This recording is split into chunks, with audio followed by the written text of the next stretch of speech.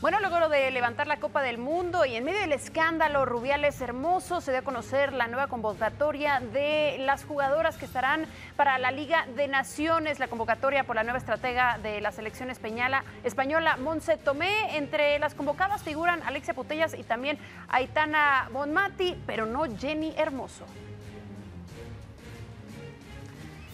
Bueno, y este es el comunicado de Jennifer Hermoso, su reacción que no fue convocada. ¿Protegerme de qué? Llevamos semanas, meses buscando esa protección que dentro de la misma Real Federación Española de Fútbol no hemos podido encontrar. Las mismas personas que nos piden confianza son las que hoy lanzan una lista con jugadoras que han podido ser no convocadas. Las jugadoras tenemos muy claro que es otra estrategia de división y manipulación para intimidar y amenazarnos con repercusiones legales y sanciones económicas. ¿Qué tal? El saludo desde España, donde aquí estamos muy entretenidos. Nuevo lío, nuevo episodio dentro de esta guerra o batalla entre la selección española femenil y la Federación Española de Fútbol. En el día de hoy, además, el lío es tremendo, tal y como nos informan desde dentro tanto de la Federación como del propio vestuario. Y nos vamos a explicar. El pasado viernes, las jugadoras exigieron en un comunicado cambios, cambios para que la gente entendiera cuál es la situación actual de ese vestuario.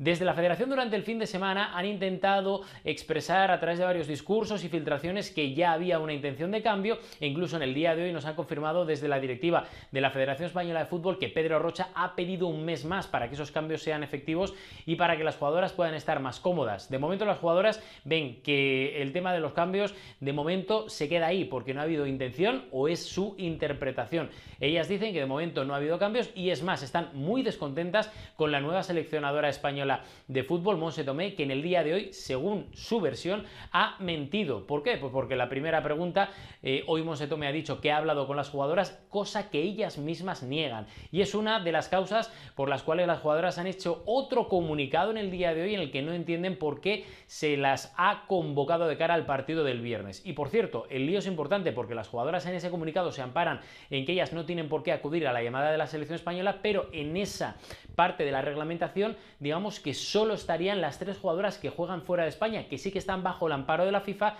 mientras que el resto, que dependen de la ley del deporte en España, serían obligadas a acudir a la llamada de la selección española. Por lo tanto, veremos a ver qué pasa. Y ojo, si no van, las jugadoras que dependen de esa ley del deporte en España se exponen primero a multas económicas y segundo a inhabilitaciones, que irían de los 2 hasta los 15 años. Por tanto, lío importante, la federación sigue cambiar, la federación pide tiempo, de momento hay poca intención a nivel de gestos por parte de la actual directiva para el vestuario de las chicas. Y de momento la selección española femenil sigue enrocada, dice que no quieren acudir a ese llamado, aunque la gran parte de ellas tienen que verse obligadas a acudir, por lo tanto el partido del viernes da la sensación de que por lo menos a estas horas de la noche no peligra.